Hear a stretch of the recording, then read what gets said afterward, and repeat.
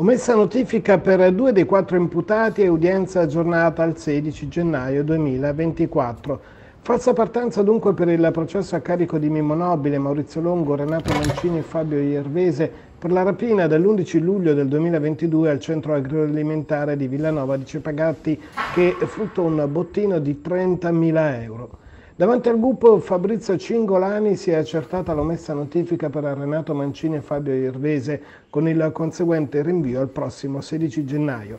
In base al quadro accusatorio messo in piedi dal PM Luca Sciarretta, sulla base della confessione dettagliata di Mancini e Irvese, questi ultimi due si occuparono della parte logistica, mentre Nobile e Longo, individuati anche dalle immagini delle telecamere di sorveglianza, sono ritenuti gli esecutori materiali.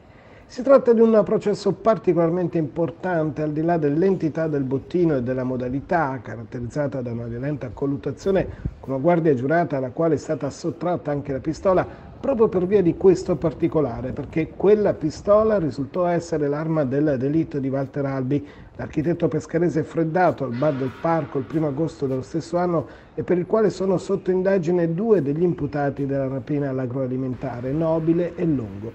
Tutto rimandato dunque anno nuovo, quando, molto presumibilmente, si andrà al patteggiamento per Mancini Iervese e al rito abbreviato per Nobile e Longo.